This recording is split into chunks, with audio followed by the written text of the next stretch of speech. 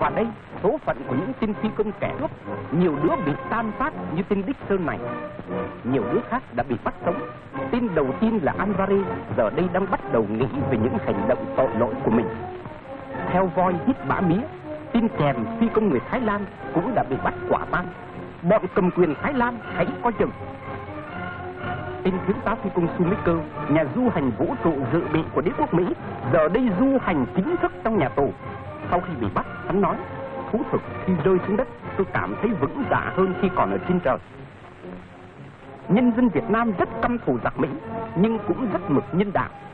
Tên phi công vô đơn này bị thương què cảnh đã được các nhân viên quân y ta cứu chữa tử tế.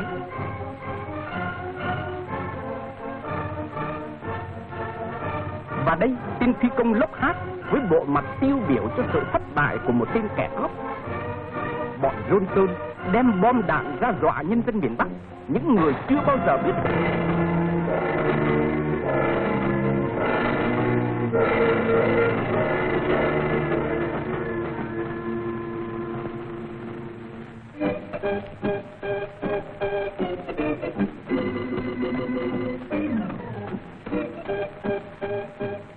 Nhưng dù tàn bạo đến đâu, giặc Mỹ không đánh được thất bại. Chúng không dựng nổi những cây ma bù nhìn này nữa. Ngụy quyền miền Nam đã thối nát cực độ. Lũ ngựa cùng chuồng đá lẫn nhau, rồi còn đá lẫn nhau cho đến ngày quỵ hẳn.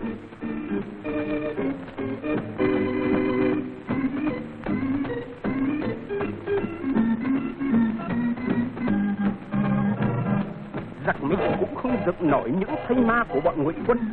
Đang trực tiếp duyệt kế hoạch của bọn mình để xua bọn này ra làm bia đỡ đảng.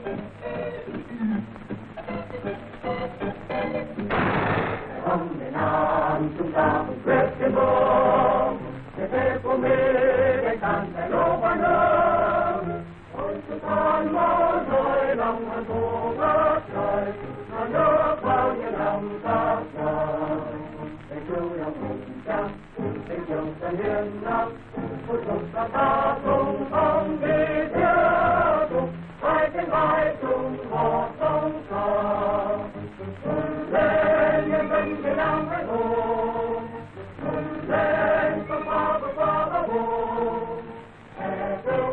nước nhà. Thất bại của Mỹ và Tây Sai là điều không tránh khỏi. Đồng bào miền Nam anh hùng vì bảo vệ miền Bắc, giải phóng miền Nam đã và đang nện cho chúng những đòn trời giáng. Việt An, Sông Bé, Ba Gia, Đùng Xoài, An Tân.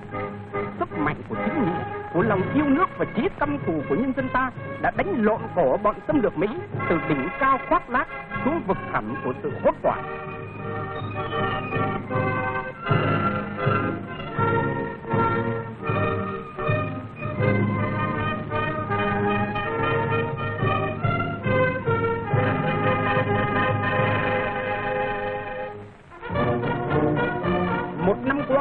Chúng ta đã thắng giặc Mỹ bằng sức mạnh của chiến tranh nhân dân.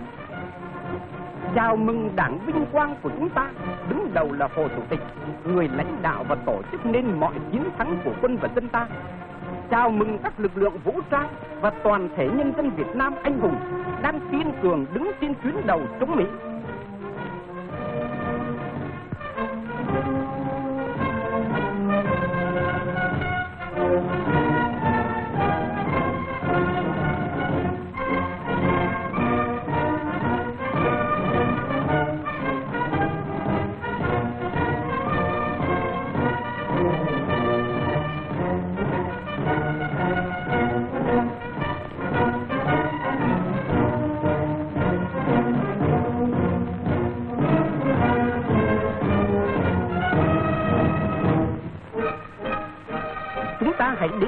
Những người chiến thắng. Đó là những con người bình thường giản dị, qua thử thách của chiến đấu đã trở thành gan thép. Chúng ta gặp lại ở đây những chiến sĩ hải quân đang say sưa sôi nổi hiến kế đánh giặc. Chúng ta gặp các chiến sĩ không quân trẻ tuổi lần đầu xuất trận đã bắn nát vụn thần sấm sét của địch và đã liên tiếp chiến thắng vẻ vang. Chúng ta gặp các chiến sĩ phòng không trên bất cứ nơi nào của Tổ quốc, ngày đêm sẵn sàng trên mâm pháo, sinh hoạt gian khổ giản dị, sống trong tình thương yêu đùm bọc của nhân dân, dũng cảm và lạc quan vô hạn. Từ đơn vị đánh trận đầu tới khẩu đội đã hạ chiếc máy bay thứ 300 của Mỹ, tất cả đều mang hình ảnh của Nguyễn Viết Xuân trong con tim của mình.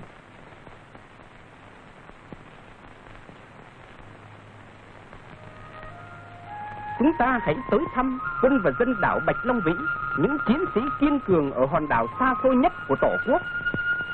Sau chiến đấu, cuộc sống vẫn bình thường.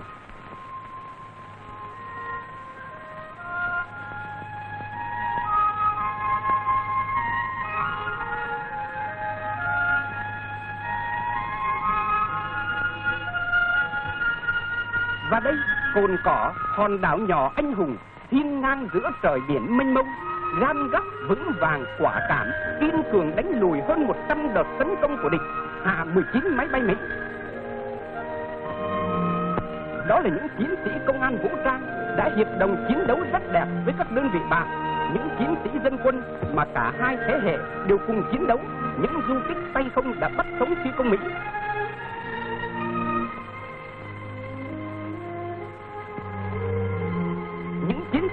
an nhân dân, đã anh dũng bảo vệ trật tự trị an giúp đỡ nhân dân.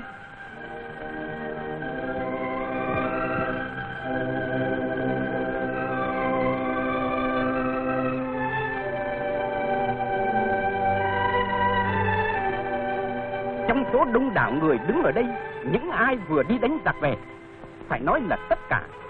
Trên mọi cương vị, mọi lứa tuổi, mỗi người dân Việt Nam là mỗi chiến sĩ kiên cường chống Mỹ đó là những bà mẹ dũng cảm đã sát cánh cùng con em mình chiến đấu.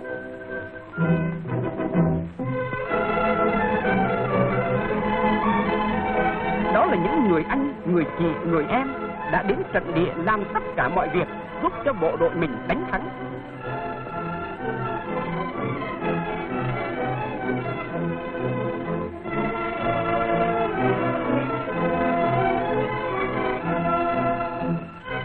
Là nhân viên các cơ quan đã dũng cảm chiến đấu trên cương vị công tác của mình. Đó là hàng trăm người đã tình nguyện truyền những dòng máu tươi nóng hổi của mình để cứu chữa thương binh. Đẹp đẽ biết bao những hành động đầy tình thương yêu giai cấp ấy.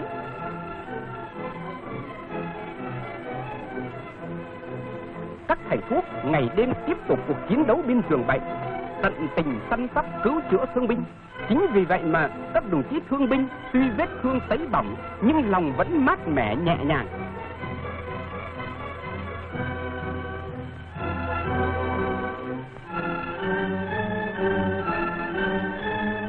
Đó là những nhân viên bưu điện truyền thanh trong lửa đạn vẫn bảo đảm mạch máu liên lạc thông suốt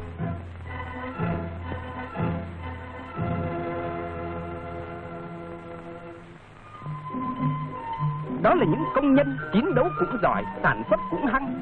Mặc cho bom đạn quân phủ chút xuống, vẫn gan dạ phục vụ cho chiến đấu sản xuất và đời sống bình thường của nhân dân.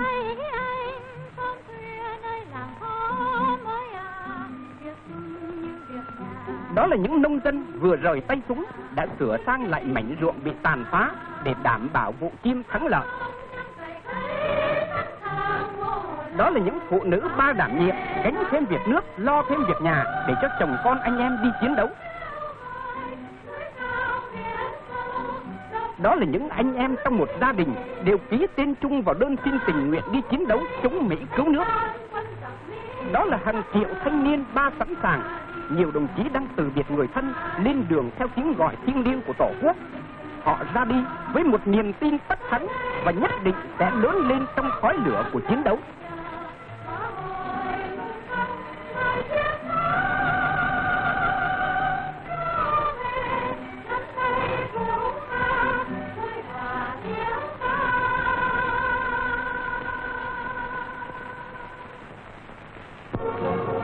Nhân dân Việt Nam đứng ở tuyến đầu chống Mỹ của nhân loại. Đó là niềm tự hào và vinh dự lớn của dân tộc ta. Cũng vì vậy mà cuộc chiến tranh chính nghĩa của chúng ta được nhân dân thế giới nhiệt liệt đồng tình và ủng hộ. Chính phủ Trung Quốc đã tuyên bố 650 triệu nhân dân Trung Quốc quyết không thể khoanh tay ngồi nhìn và đã chuẩn bị sẵn sàng. Nhân dân Trung Quốc đã họp meeting khổng lồ tại Bắc Kinh, tỏ rõ quyết tâm ủng hộ Việt Nam chống Mỹ Mao Chủ tịch và các đồng chí lãnh đạo đảng và nhà nước đã tới dự. Đó là biểu hiện đẹp đẽ của tình nghĩa Trung Việt anh em.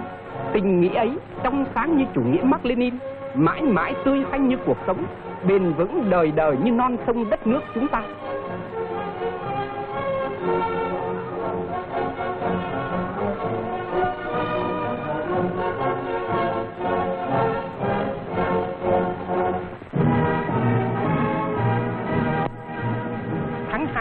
1965, trong cuộc đi thăm hữu nghị Việt Nam, Chủ tịch Hội đồng Bộ trưởng Kosygin đã thay mặt Đảng Cộng sản và chính phủ Liên Xô nghiêm khắc cảnh cáo đế quốc Mỹ và tỏ sự đồng tình sâu sắc của nhân dân Liên Xô đối với cuộc chiến đấu chống Mỹ của nhân dân ta.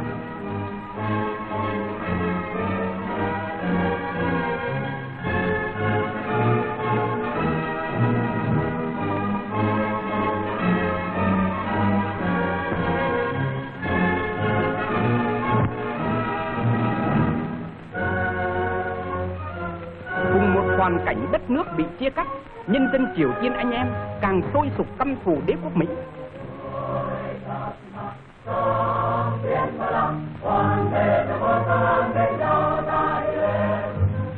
Trong các nước xã hội chủ nghĩa anh em khác như Albania, Cuba, Cộng hòa Dân chủ Đức, Ba Lan, Tiệp Khắc, Hungary, cuộc đấu tranh ủng hộ Việt Nam cũng rất sôi nổi, mang nhiều hình thức phong phú.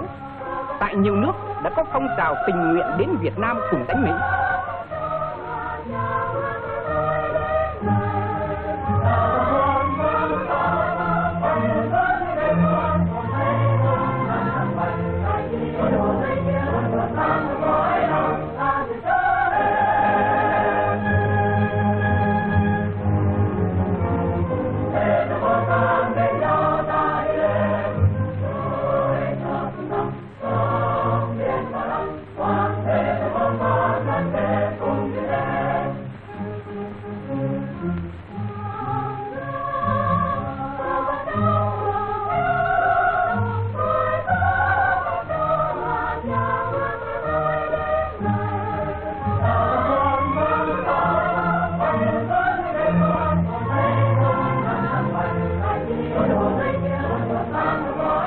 Indonesia, Nhật Bản, Lào, Algeria, Guinea, Ghana và khắp các nước Á Phi, hàng chục triệu nhân dân đã xuống đường biểu tình với một khí thế chống Mỹ ủng hộ Việt Nam chưa từng có.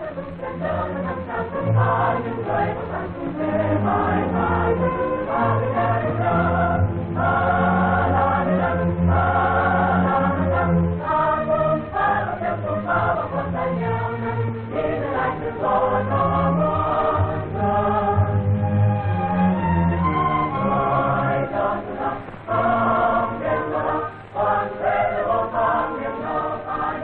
Tây Đức cũng kịch liệt phản đối bọn xâm lược Mỹ và chính ngay ở Mỹ, phong trào đấu tranh chống bọn phát xít Johnson cũng phát triển mạnh mẽ, rộng rãi chưa từng thấy. Chúng ta chân thành biết ơn sự đồng tình và giúp đỡ trí thiết của nhân dân yêu chuộng hòa bình toàn thế giới. Đế quốc Mỹ bị cô lập hơn bao giờ hết, toàn thế giới ủng hộ chúng ta. Sự nghiệp chính nghĩa chống Mỹ cứu nước của nhân dân ta nhất định thắng lợi trong kỳ họp lịch sử của Quốc hội nước Việt Nam Dân Chủ Cộng Hòa tháng 4 năm 1965, Hồ Chủ tịch đã kêu gọi toàn dân ta quyết tâm đánh thắng giặc Mỹ xâm lược. Thủ tướng Phạm Văn Đồng đã lên án nghiêm khắc đế quốc Mỹ và nêu rõ lập trường 4 điểm của chính phủ nước Việt Nam Dân Chủ Cộng Hòa. Bản tuyên bố 5 điểm của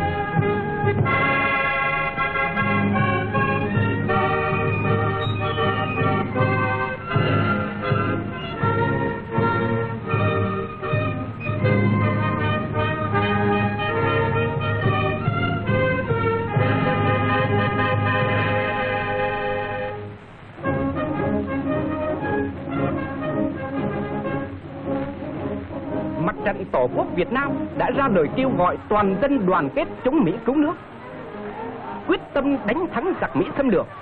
Đó là tiếng gọi thiêng liêng của Tổ quốc đang rục rã 17 triệu đồng bào miền Bắc, nêu cao chí khí anh hùng cách mạng, quyết tâm đánh bại mọi hành động chiến tranh của đế quốc Mỹ, kiên cường xây dựng và bảo vệ miền Bắc xã hội chủ nghĩa, hết lòng hết sức ủng hộ cuộc đấu tranh giải phóng của đồng bào miền Nam, và làm nghĩa vụ quốc tế của mình, giữ vững tiền đồn của phe xã hội chuẩn bị chiến đấu bao nhiêu thì lại càng hăng say sản xuất bấy nhiêu.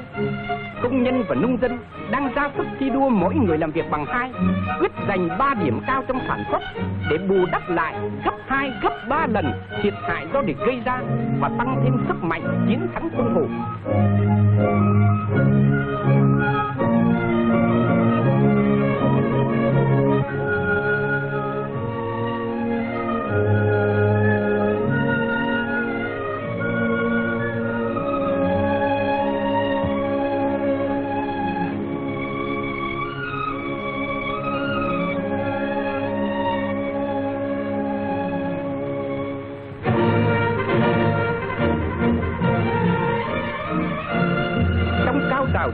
của toàn dân, các quân khu tưng bừng làm lễ đón cờ thưởng quyết tâm đánh thắng giặc Mỹ xâm lược của Hồ Chủ tịch.